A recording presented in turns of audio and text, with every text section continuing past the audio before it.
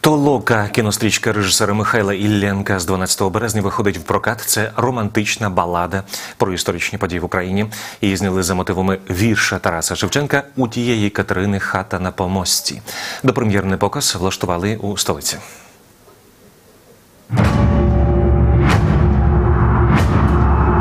Майже двогодинний фільм Толока охоплює 400 років історії України. Це романтична балада режисера Михайла Ільєнка. Картина переповідає 14 драматичних та героїчних епізодів з історії, починаючи з 17 століття і до сьогодні. Що вам треба від моєї хати? А не могли бы вы обращаться к нам на человеческом языке? У центрі картини хата, яка живе від одних історичних подій до інших. Щоразу випробовування її руйнують. Попри це, хату щоразу зводять гуртом за давнім українським звичаєм, що має назву Толока. Толока в нас скрізь. Толока в нас е, і Майдан, толока в нас війна. І е, думаю, що толокою ми впораємось з усім. Стрічку відзнято за мотивами балади Тараса Шевченка. У тієї Катерини хата на помості. Виконавиця головної ролі донька режисера Михайла Ільєнка Іванна. Я цей сценарій прочитала дуже давно, і я е, можна сказати в цьому виросла. Ну реж...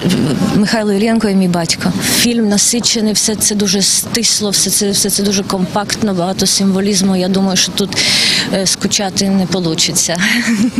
За сюжетом балади у Катерину закохується троє козаків. Стати дружиною вона обіцяє тому, хто визволить з полону її брата, який насправді не брат, а коханий. Тарас Шевченко не вказує, скільки часу треба було козакам, щоб знайти брата Катерини. Ну, хто читав, той пам'ятає, хто не читав, це аж дві сторінки шедевру.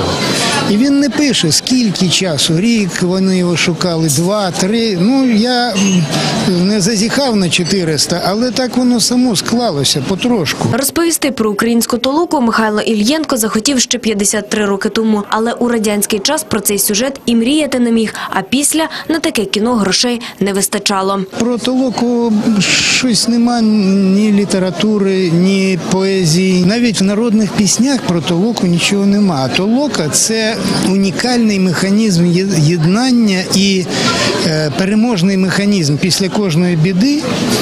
Толока і життя продовжується. Зрештою, стрічка отримала від держави понад 28 мільйонів гривень. Її зйомка тривала з 2013 року. До себе у фільм Михайло Ільєнко запросив відомих українських акторів. До прикладу, із Богданом Бенюком знімає вже не перший фільм. попасти в руки такому режисеру, он позад мене, от він там якраз інтерв'ю. Від'їдь, синочок, ти чуєш мене? От від'їдь туди камерою.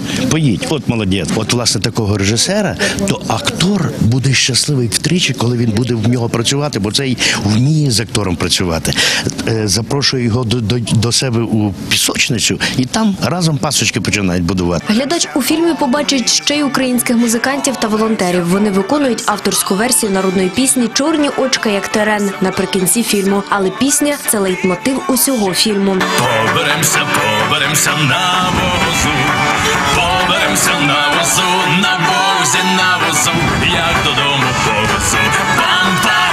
Допрем'єрний показ першими побачили в зоні проведення ООС. Фільм Толока провезли від щастя до Маріуполя. На широкі екрани стрічка виходить 12 березня. З кожного квитка Толоки 7 гривень спрямують на допомогу армії через фонд Повернись живим. Евліна Михайленко, Анна Несевра, п'ятий канал.